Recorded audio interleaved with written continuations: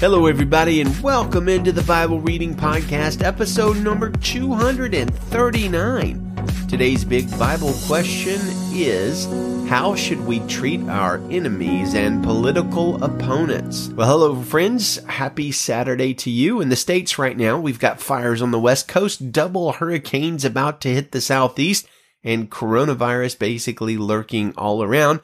But God is on his throne in his temple and Jesus is beside him praying for his followers. Now, by opening this way, talking about what's going on in the States, I do want to acknowledge and shout out all of our international listeners, and we've got quite a few of you all out there. Thank you guys for listening, and you ladies for listening, and welcome aboard to the bloke or blokette from Queensland, Australia, maybe Brisbane, who downloaded like 100 episodes of the show literally yesterday. Shout out also to Toby Flitchett of Queensland 2, who did something really cool. You might remember the massive floods in Australia last year. Well, Toby took a lot of the debris left over from the floods and made sort of an awesome work of art slash sculpture kind of memorial thing out of it. So good on you, mate. That's good job, Toby. Way to, um, way to make lemonade out of lemons, I guess. Well, today's Bible readings include 1 Samuel 14, Psalms chapter 30, Jeremiah 51, and Romans 12, which is our focus passage. So let me ask you a series of pointed questions and really think about this. Do you have any enemies? Now, maybe not a personal arch enemy that's, you know, always trying to kill you or whatever, but a person or group of people who are opposed to you somehow or you're opposed to them. Maybe they're so different ideologically from you that you're convinced they are hurting you or your group or your country or your city or whatever. Now, almost all of us have ideological enemies. Do you hate Democrats? Do you hate liberals? Or you know, do you hate Republicans? Do you hate conservatives? Do you hate Trump supporters? Do you hate enemies of Trump? Do you hate your sports rival? Do you hate fans of your sports rival? Do you hate your boss? Do you hate the person who looks down on you on social media? Do you hate a mean, annoying, harsh, or critical relative? Do you hate your ex?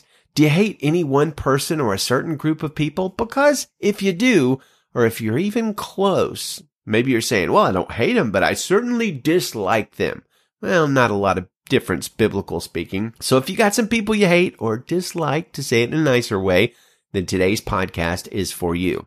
In a year where unprecedented has basically become a cliche that you hear all the time, I have observed an unprecedented amount of hate, dislike, come from those who claim to be Christians. Now, usually that hate is in the political realm, but sometimes you see it in other scenarios as well. And very often the justification that a Christian might give for that hate is either something like A, well, you gotta fight fire with fire, or B, this particular group or person is bad, they're advocating bad things, they're leading our country, city, group, whatever, in a bad direction, and our anger is justified. They must be stopped no matter what the cost. Except, as we will find out today from Paul and Jesus, and as we have already heard many times in the Bible up to this point, Christians can't be that way. Full stop. No exceptions, no excuses.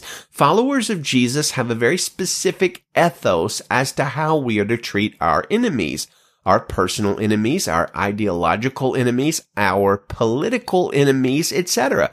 We've got some very clear commands in this regard, not a lot of wiggle room, friends. And this is incredibly important. Now listen to how Jesus explains it in Matthew 5 verse 43. He says, you have heard that it was said, love your neighbor and hate your enemy. But I tell you, love your enemies and pray for those who persecute you so that you may be children of your Father in heaven, for he causes his sun to rise on the evil and the good, and sends rain on the righteous and the unrighteous. For if you love those who love you, what reward will you have? Don't even the tax collectors do the same? And if you greet only your brothers and sisters, what are you doing out of the ordinary? Don't even the Gentiles do the same? Oh, that's pretty challenging. Jesus is calling us to a much higher life of love than those who don't follow him. Remember, they're going to know we are Christians by our love, says John 13, 35. And people of the world, you know, they hate their enemies. They do bad to them. Not so with Jesus followers. Instead, we bless those who curse us. We love those who are our enemies and love those who we dislike, and we pray for them. Now, not in a snarky, holier than thou way either, in an obvious, kind, genuine, and authentic way. As Jesus said, almost everybody loves people who love them. Terrorists do that. Criminals do that. Swindlers do that. Auburn fans do that and others. Well, I'm just kidding about the Auburn fan thing. Roll Tide, but totally kidding. Best friends are Auburn fans.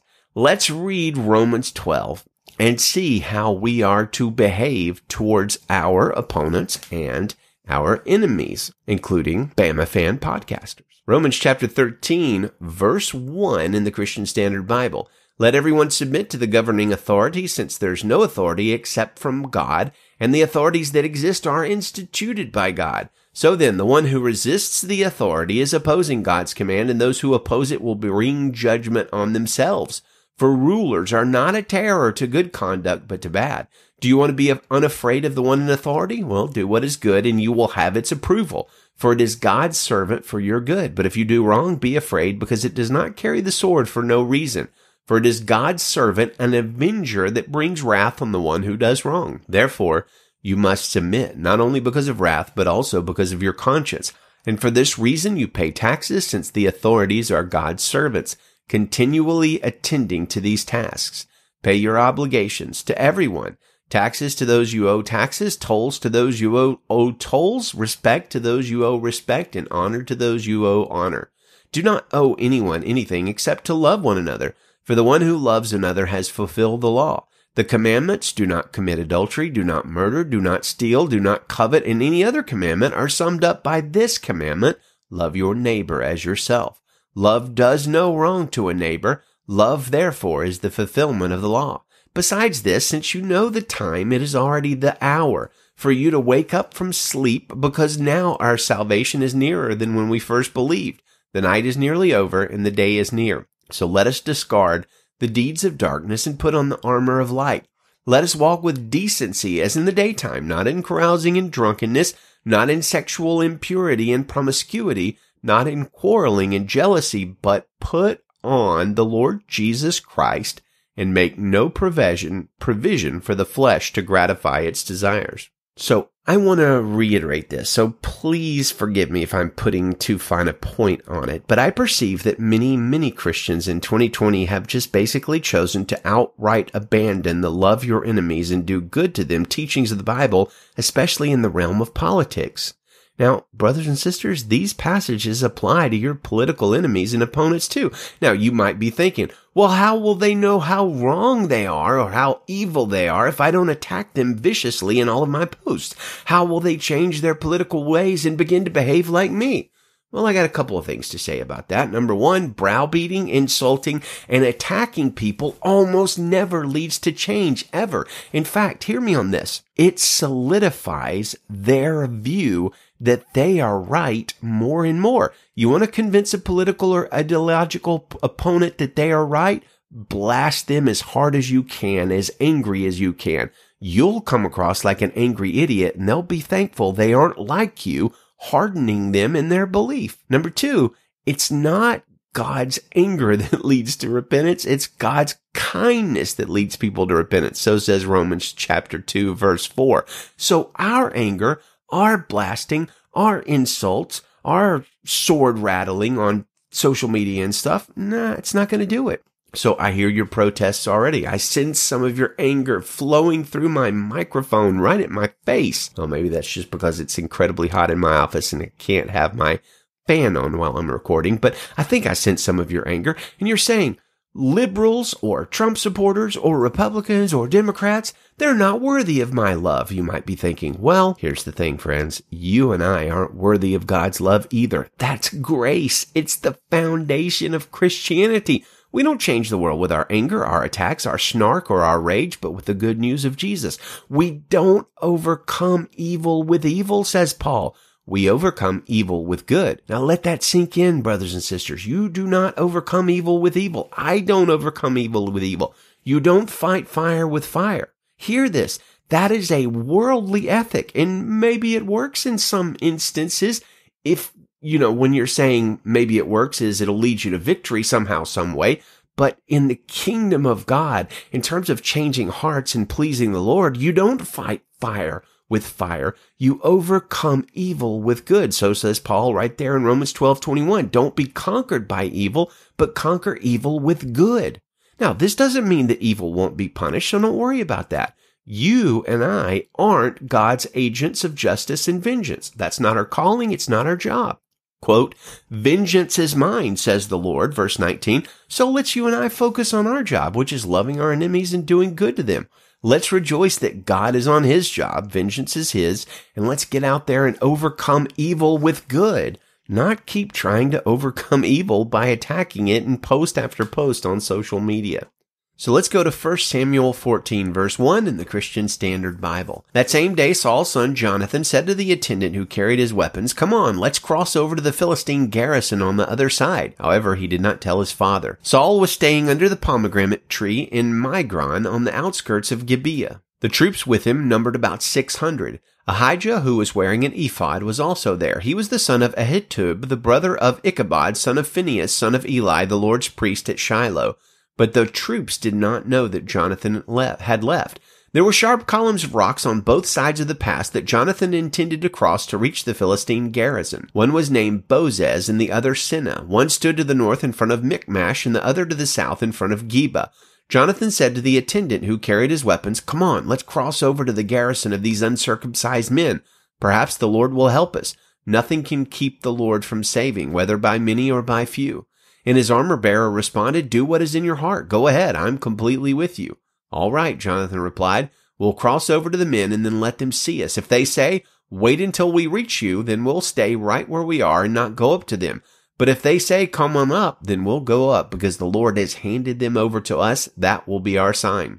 They let themselves be seen by the Philistine garrison, and the Philistines said, Look, the Philistine, the Hebrews are coming out of the holes where they've been hiding. The men of Gareth the garrison called to Jonathan and his armor bearer.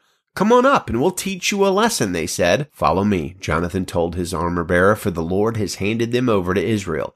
Jonathan climbed up using his hands and feet with his armor bearer behind him. Jonathan cut them down and his armor bearer followed and finished them off. In that first assault, Jonathan and his armor bearer struck down about 20 men in a half acre field.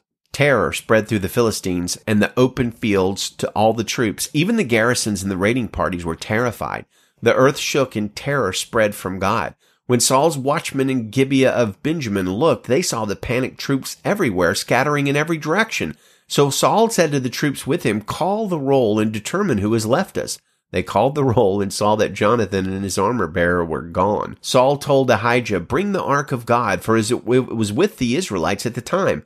While Saul spoke to the priest, the panic in the Philistine camp increased in intensity. So Saul said to the priest, Stop what you're doing. Saul and all the troops with him assembled and marched to the battle, and there the Philistines were, fighting against each other in great confusion. There were Hebrews from the area who had gone earlier into the camp to join the Philistines, but even they joined the Israelites who were with Saul and Jonathan. When all the Israelite men who had been hiding in the hill country of Ephraim heard that the Philistines were fleeing, they also joined Saul and Jonathan in the battle, so the Lord saved Israel that day. The battle extended beyond Beth Aven, and the men of Israel were worn out that day, for Saul had placed the troops under an oath. The man who eats food before evening, before I have taken vengeance on my enemies, is cursed. So none of the troops tasted any food. Everyone went into the forest, and there was honey on the ground. When the troops entered the forest, they saw the flow of honey, but none of them ate any of it because they feared the oath. However, Jonathan had not heard his father make the troops swear the oath, and he reached out with the end of the staff he was carrying and dipped it into the honeycomb. When he ate the honey, he had renewed energy. Then one of the troops said, Your father made the troops solemnly swear the man who eats food today is cursed, and the troops are exhausted. Jonathan replied, My father has brought trouble to the land. Just look at how I have renewed energy because I tasted a little of this honey. How much better if the troops had eaten freely today from the plunder they took from their enemies. Then the slaughter of the Philistines would have been much greater. The Israelites struck down the Philistines that day from Michmash all the way to Aijalon. Since the Israelites were completely exhausted, they rushed to the plunder, took sheep, cattle, goats, and calves, slaughtered them to the ground, and ate meat with the blood still in it. Some reported to Saul, Look, the troops are sinning against the Lord by eating meat with the blood still in it. Saul said, You have been unfaithful. Roll a large stone over here at once. He then said, Go among the troops and say to them, Let each man bring me his ox or his sheep. Do the slaughtering here, and then you can eat. Don't sin against the Lord by eating meat with the blood in it. So every one of the troops brought his ox that night and slaughtered it there. Then Saul built an altar to the Lord, and it was the first time he had built an altar to the Lord. Saul said, Let's go down after the Philistines tonight and plunder them until morning. Don't even let one remain. Do whatever you want, the troops replied.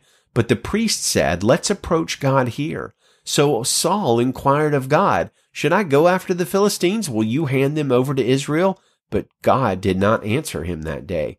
Saul said, All you leaders of the troops, come here. Let's investigate how this sin has occurred today. As surely as the Lord lives who saves Israel, even if it's because of my son Jonathan, he must die. Not one of the troops answered him. So he said to all Israel, You will be on one side, and I and my son Jonathan will be on the other side. And the troops replied, Do whatever you want. So Saul said to the Lord, God of Israel, Why have you not answered your servant today? If if the unrighteousness is in me or in my son Jonathan, Lord God of Israel, give Urim. But if the fault is in your people Israel, give Thummim. Jonathan and Saul were selected, and the troops were cleared of the charge. Then Saul said, Cast a lot between me and my son Jonathan, and Jonathan was selected. Saul commanded him, Tell me what you did. Jonathan told him, I tasted a little honey with the end of the staff I was carrying. I am ready to die. Saul declared to him, May God punish me and do so severely if you do not die, Jonathan. But the people said to Saul, Must Jonathan die? He accomplished such a great deliverance for Israel. No, as the Lord lives, not a hair of his head will fall to the ground, for he worked with God's help today. So the people redeemed Jonathan, and he did not die. Then Saul gave up the pursuit of the Philistines, and the Philistines returned to their own territory. When Saul assumed the kingship over Israel, he fought against all his enemies in every direction, against Moab, the Ammonites, Edom, the kings of Zobah, and the Philistines. Wherever he turned, he caused havoc. He fought bravely, defeated the Amalekites, and rescued Israel from those who plundered them. Saul's sons were Jonathan, Ishvi, and Malchishua. The names of his daughters were Merab, his firstborn, and Michal, the younger. The name of Saul's wife was Ahinoam, daughter of Ahimaaz. The name of the commander of his army was Abner, son of Saul's uncle Ner. Saul's father was Kish. Abner's father was Ner, son of Abiel. The conflict with the Philistines was fierce all of Saul's days, so whenever Saul noticed any strong or valiant man, he enlisted him. Jeremiah 51 verse 1. This is what the Lord says. I am about to rouse the spirit of a destroyer against Babylon and against the population of Leb-qamai. I will send strangers to Babylon who will scatter her and strip her land bare, for they will come against her from every side in the day of disaster. Don't let the archer string his bow. Don't let him put on his armor. Don't spare her young men. Completely destroy her entire army. Those who are slain will fall in the land of the Chaldeans. Those who are pierced through in her streets for Israel and Judah are not left widowed by their God, the Lord of armies, though their land is full of guilt against the Holy One of Israel. Leave Babylon. Save your lives, each of you. Don't perish because of her guilt, for this is the time of the Lord's vengeance. He will pay her what she deserves. Babylon was a gold cup in the Lord's hand, making the whole earth drunk. The nations drank her wine, therefore the nations go mad. Suddenly Babylon fell and was shattered. Wail for her. Get balm for her wound. Perhaps she can be healed. We tried to heal Babylon, but she could not be healed. Abandon her. Let each of us go to his own land, for her judgment extends to the sky and reaches as far as the clouds. The Lord has brought about our vindication. Come, let's tell in Zion what the Lord our God has accomplished. Sharpen the arrows, fill the quivers. The Lord has roused the spirit of the kings of the Medes, because his plan is aimed at Babylon to destroy her. For it is the Lord's vengeance, vengeance for his temple. Raise up a signal flag against the walls of Babylon, fortify the watchpost, set the watchmen in place, prepare the ambush, for the Lord has both planned and accomplished what he has threatened against those who live in Babylon. Yet you who reside by abundant water, rich in treasuries, your end has come, your life thread is cut. The Lord of armies has sworn by himself, I will fill you up with men as with locusts, and they will sing the victory song over you. He made the earth by his power, established the world by his wisdom and spread out the heavens by his understanding. When he thunders, the waters in the heavens are tumultuous, and he causes the clouds to rise from the ends of the earth. He makes lightning for the rain and brings the wind from his storehouses. Everyone is stupid and ignorant. Every goldsmith is put to shame by his carved image, for his cast images are a lie. There's no breath in them. They are worthless, a work to be mocked. At the time of their punishment, they will be destroyed. Jacob's portion is not like these because he is the one who formed all things. Israel is the tribe of his inheritance. The Lord of armies is his name. You are my war club, my weapons of war. With you I will smash nations. With you I will bring kingdoms to ruin. With you I will smash the horse and its rider. With you I will smash the chariot and its rider. With you I will smash man and woman. With you I will smash the old man and the youth. And with you I will smash the young man and the young woman. With you I will smash the shepherd and his flock. With you I will smash the farmer and his ox team. With you I will smash governors and officials. Before your very eyes I will repay, repay Babylon and all the residents of Chaldea for all their evil they have done in Zion. This is the Lord's declaration. Look, I am against you, devastating mountain. This is the Lord's declaration. You devastate the whole earth. I will stretch out my hand against you roll you down into the cliffs and turn you into charred mountain. No one will be able to retrieve a cornerstone or a foundation stone from you because you will become desolate forever. This is the Lord's declaration. Raise a signal flag in the land, blow a ram's horn among the nations, set apart the nations against her, summon kingdoms against her, Ararat, Minni, and Ashkenaz, appoint a marshal against her, bring up horses like a swarm of locusts, set apart the nations for battle against her, the kings of Media, her governors and all her officials, and all the lands they rule. The earth quakes and trembles because the Lord's intentions, intentions against Babylon stand to make the land of Babylon a desolation without inhabitant. Babylon's warriors have stopped fighting. They sit in strongholds. Their might is exhausted. They've become like women. Babylon's homes have been set ablaze. Her gate bars are shattered. Messenger races to meet messenger and herald to meet herald to announce the king of Babylon that his city has been captured from end to end. The fords have been seized. The marshes set on fire and the fighting men are terrified. For this is what the Lord of armies, the God of Israel says. Daughter Babylon, is like a threshing floor. At the time it is trampled, in just a little while her harvest time will come. King Nebuchadnezzar of Babylon has devoured me, he has crushed me, he has set me aside like an empty dish, he has swallowed me like a sea monster, he filled his belly with my delicacies, he has vomited me out. Let the violence done to me and my family be done to Babylon, says the inhabitant of Zion. Let my blood be on the inhabitants of Chaldea, says Jerusalem. Therefore, this is what the Lord says. I am about to champion your cause and take vengeance on your behalf. I will dry up her sea and make her fountain run dry. Babylon will become a heap of rubble, a jackal's den, a desolation and an object of scorn without inhabitant. They will roar like young lions. They will growl like lion cubs. While they are flushed with heat, I will serve them a feast and I will make them drunk so that they celebrate. Then they will fall asleep forever and never wake up. This is the Lord's declaration. I will bring them down like lambs to the slaughter, like rams together with male goats. How Sheshach has been captured, the praise of the whole earth seized. What a horror Babylon has become among the nations. The sea has risen over Babylon. She is covered with its tumultuous waves. Her cities have become a desolation, an arid desert, a land where no one lives, where no human being even passes through. I will punish Bel in Babylon. I will make him vomit what he swallowed. The nations will no longer stream to him. Even Babylon's wall will fall. Come out from among her, my people. Save your lives, each of you, from the Lord's burning anger. May you not become cowardly and fearful when the report is proclaimed in the land, for the report will come one year and then another the next year. There will be violence in the land with ruler against ruler. Therefore, look, the days are coming when I will punish Babylon's carved images. Her entire land will suffer shame, and all her slain will lie fallen within her. Heaven and earth and everything in them will shout for joy over Babylon, because the destroyers from the north will come against her. This is the Lord's declaration. Babylon must fall because of the slain of Israel, even as the slain of the whole earth fell because of Babylon. You who have escaped the sword, go now and stand. Do not stand still. Remember the Lord from far away and let Jerusalem come to your mind. We are ashamed because we have heard insults. Humiliation covers our faces because foreigners have entered the holy places of the Lord's temple. Therefore, look, the days are coming. This is the Lord's declaration. When I will punish her carved images, and the wounded will groan throughout her land. Even if Babylon should ascend to the heavens and fortify her tall fortresses, destroyers will come against her from me, this is the Lord's declaration, the sound of a cry from Babylon, the sound of terrible destruction from the land of the Chaldeans. For the Lord is going to devastate Babylon. He will silence her mighty voice. Their waves roar like a huge torrent. The tumult of their voice resounds, for a destroyer is coming against her, against Babylon.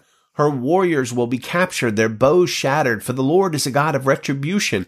He will certainly repay. I will make her princes and sages drunk along with her governors, officials, and warriors. Then they will fall asleep forever and never wake up. This is the Lord's dec- the king's declaration. The Lord of armies is his name. This is what the Lord of armies says. Babylon's thick walls will be totally demolished and her high gates set ablaze. The people will have labored for nothing. The nations will weary themselves only to feed the fire. This is what the prophet Jeremiah commanded Seraiah, son of Neriah, son of Mahseiah, the quartermaster, when he went to Babylon with King Zedekiah of Judah in the fourth year of Zedekiah's reign. Jeremiah wrote on one scroll about all the disaster that would come to Babylon. All these words were written against Babylon. Jeremiah told Seraiah, when you get to Babylon, see that you read all these words aloud. Say, Lord, you have threatened to cut off this place so that no one will live in it, people or animals. Indeed, it will remain desolate forever. When you have finished reading this scroll, tie a stone to it and throw it into the middle of the Euphrates River then say, in the same way, Babylon will sink and never rise again because of the disaster I am bringing on her. They will grow weary. The words of Jeremiah end here. But not the book of Jeremiah. That doesn't end until tomorrow. Psalm chapter 30 verse 1. I will exalt you, Lord, because you've lifted me up and have not allowed my enemies to triumph over me. Lord my God, I cried to you for help and you healed me. Lord, you brought me up from Sheol. You spared me from among those going down to the pit. Sing to the Lord, you his faithful ones, and praise his holy name, for his anger lasts only a moment, but his favor a lifetime. Weeping may stay overnight, but there is joy in the morning. When I was secure, I said, I will never be shaken. Lord, when you showed your favor, you made me stand like a strong mountain. When you hid your face, I was terrified. Lord, I called to you. I sought favor from my Lord. What gain is there in my death if I go down to the pit? Will the dust praise you? Will it proclaim your truth? Lord, listen and be gracious to me. Lord, be my helper. You turned my lament into dancing. You removed my sackcloth and clothed me with gladness so that I can sing to you and not be silent. Lord my God, I will praise you forever. Amen. Dear friends, may the Lord bless you and give you a wonderful weekend. Good day and Godspeed.